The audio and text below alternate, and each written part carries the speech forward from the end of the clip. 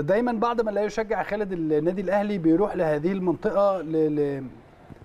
لكسر استقرار النادي الأهلي. ولكن ده لا ينفي.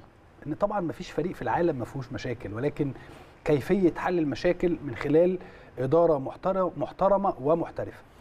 بص يا كابتن الأهلي ترند في حد ذاته. اكتب كلمة الأهلي هيطلع ترند على طول. اي أي خبر أي معلومة أي شبه معلومة هتلتص يعني هتيجي ورا كلمة النادي الأهلي أو قيمة النادي الأهلي خلاص آه، أنت ضامن أو عارف إن إن الموضوع ده هيوصل. دي جزئية بيحاول آه، حسن النية وسيء النية إن هو يستغ... يستغ... يعني يستخدمها.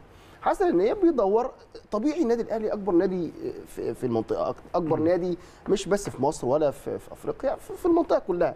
وبالتالي أنت بطبع بطبيعة شغلك أنت عايز برضو آه، آه، الخبرية حتى عايز تشتغل خبريا عايز تجيب أخبار عايز آه، تتكلم عايز آه، تعرف المشجع الأهلاوي آه، اللي بيدور. مش كل اللي بيتقال في الإعلام الرسمي آه، أو مش كل ما يدور داخل النادي الأهلي هو اللي بيتقال في الإعلام الرسمي وده المطلوب على فكرة مش طبعا ده دورنا. مش الإعلام الرسمي طبعاً. هو ال- اللي بيطلع كل آه، آه، أخبار الفريق وكل أسرار الفريق مفيش حاجة كده في الدنيا يعني إنما أنا بتكلم على مين حسن النية اللي اللي بيدور على الخبر علشان برضو جمهورك أنت أصلا عنده شغف كمان إنه يعرف طبعا بدل ما يروح ناحية تانية أو يروح لسيء النية وياخد منه الخبر بيروح لحد إنه واثق فيه آه، وبيقدم له المعلومة. على النقيض بقى سيء النية بقى بياخد الأخبار دي كلها وياخدها في السكة اللي هو عايزها.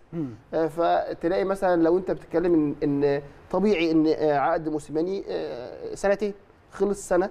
فالطبيعي إن أي حد بيفكر إنه ممكن يكون في تفكير مستقبلي خلال الفترة اللي جاية إن أجدد لموسيماني مثلا أو أشوف الأمور هتمشي إزاي. ده طبيعي. فهتبدا عندك الطبيعي دايما بتلاقيه راح لمرحلة تانية. مرحلة ده. قصدك يعني. بالظبط كده.